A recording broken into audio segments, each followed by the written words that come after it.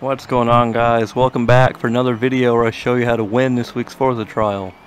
This week we have Jumping Jeeps. There's a cross-country event for Jeeps tuned to A spec. Now I messed around with a few different Jeeps and the one I found the most success with was a 2014 Jeep Grand Cherokee SRT. I made a tune for it, I'll show it on screen right now. It's called Best A800 Jeep. Now I put a pretty good amount of time into tuning this vehicle. The only thing that really sucks about this car in particular, I'm assuming the Trackhawk might be the same, is even if you change the springs out, the ride height's only like 8.5 or something like that max, which is kind of low for cross country because you're doing a lot of jumping and yeah, rebounding and stuff like that can be kind of annoying, especially if you have hard braking sections following a jump. Your car can get kind of skittish. So I would say just be careful on certain jumps, mainly in the second race. The races 1 and 3, the circuit races, you'll be fine handling, not going to have any issues at all. Race 2, there are a couple spots to kind of be a little cautious, a little more conservative during. You'll see towards the end of the race, there's a section where you go through like this little hay bale field, and then right after that you take a jump into the water. If you don't have your wheels straight going into that jump, you, when you land, you can actually kind of get turned around pretty easily or be bent out of shape. And if you hit those hay bales, you can also slow down considerably. So you try to maneuver around those if you can. I try to do it. You can kind of see in my clip that I'll attach. I did. A, I try to do a pretty good job of avoiding hay, hay bales.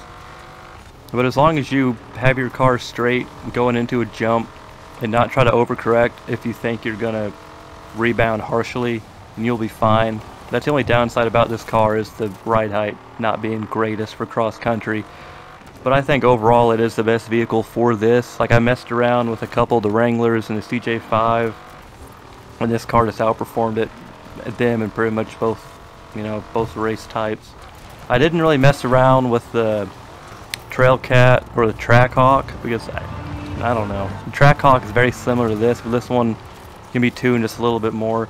And the Trailcat is probably faster than this. It just it accelerates rather slow, so I didn't even want to mess with that. But if you guys use one of those vehicles, let me know down in the comments what you use and what worked for you.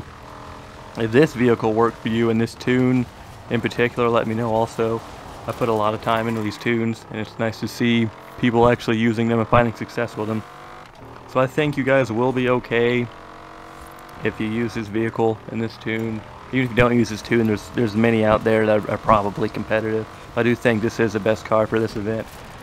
And hopefully you guys can win this trial. It's kind of silly. I think like the main prize is like a red racing suit. Woohoo! I think that's kind of silly. I wish they just give us like credits, like 100,000 credits or something, 250,000 credits, something like that. Whatever. If you like, if you want your red racing suit, you know, win this trial and you'll be able to have your red racing suit. Anyway, I hope you guys enjoyed this video. Hope you found some sort of usefulness from watching this. Hope it helped you out. And I will see you guys next week.